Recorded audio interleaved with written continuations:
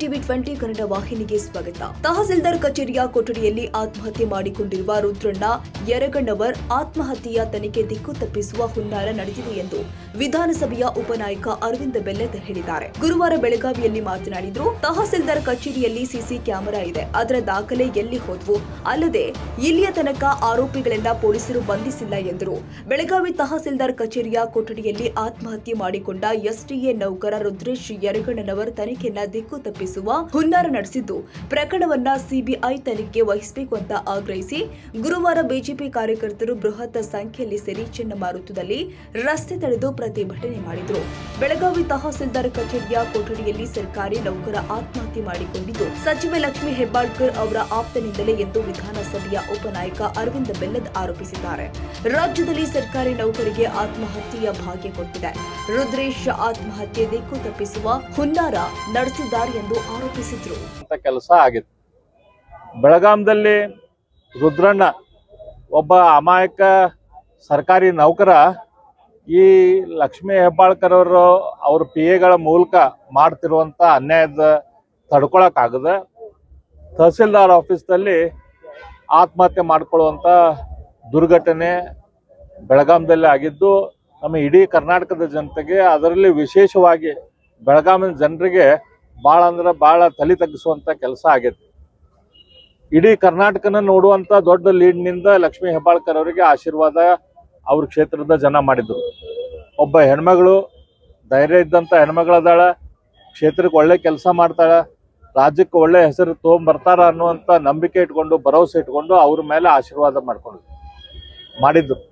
ಆದ್ರೆ ಅವ್ರು ಬಂದ ಮೇಲೆ ಇವತ್ತು ಭ್ರಷ್ಟಾಚಾರ ಮಿತಿ ಮೀರಿ ಹೊಟ್ಟೈತಿ ಅವ್ರಿಗೆ ಅವರು ಮತ್ತು ಅವ್ರ ಕುಟುಂಬದವರು ಮತ್ತು ಅವರ ಜೊತೆ ಇರುವಂಥ ಜನ, ಅವ್ರ ಪಿ ಎಗಳು ಎಲ್ಲರೂ ಕೂಡಿ ಜನರಿಗೆ ಮಾಡ್ತಿರುವಂಥ ಹರಾಸ್, ಹರಾಸ್ಮೆಂಟಿಂದ ಇವತ್ತು ಪಾಪ ಆ ಅಮಾಯಕ ಇವತ್ತು ಸುಸೈಡ್ ಮಾಡ್ಕೊಂಡಾನ ಅವ್ರದ್ದು ಅರೆಸ್ಟ್ ಇನ್ನೂ ತನಕನೂ ಆಗಿಲ್ಲ.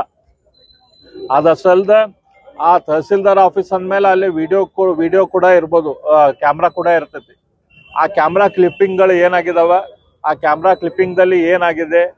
ಇವರು ಆಡಿಯೋ ರೆಕಾರ್ಡಿಂಗ್ ಹೊರಗೆ ಬಂದಿದಾವ. ಆ ಆಡಿಯೋ ರೆಕಾರ್ಡಿಂಗ್ನ ಮೂಲ ಏನು? ಮತ್ತು ಬೇರೆ ಬೇರೆ ಯಾವ ರೀತಿಯ ರೆಕಾರ್ಡಿಂಗ್ ಇದಾವ? ಅವನ್ನೆಲ್ಲ ಪತ್ತೆ ಹಚ್ಚುವಂತ ಕೆಲಸ ಈ ಕೂಡಲೇ ಮಾಡಬೇಕಾಗಿತಿ. ಆ ಕೆಲಸ ಸರ್ಕಾರ ಆಗಲಿ, ಪೊಲೀಸರಾಗಲಿ ಮಾಡ್ತಾ ಇಲ್ಲ. ಸಾಕ್ಷ್ಯ ನಾಶ ಆಗ್ತೈತಿ, ಲೇಟ್ ಆತಂದ್ರೆ.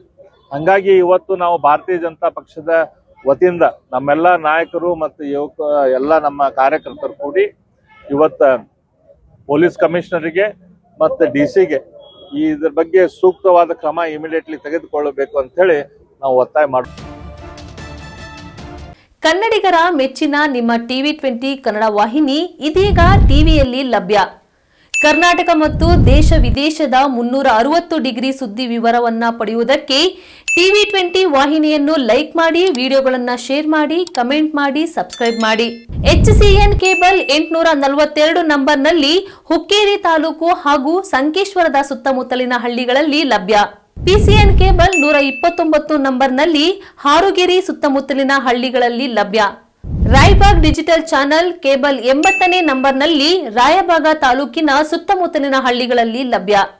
ಯುಡಿಸಿಎನ್ ಕೇಬಲ್ ನೆಟ್ವರ್ಕ್ ಉಗಾರ ಸುತ್ತಮುತ್ತಲಿನ ಹಳ್ಳಿಗಳಲ್ಲಿ ನಿಮ್ಮ ಟಿವಿ ಟ್ವೆಂಟಿ ಕನ್ನಡ ವಾಹಿನಿಯೂ ಲಭ್ಯ.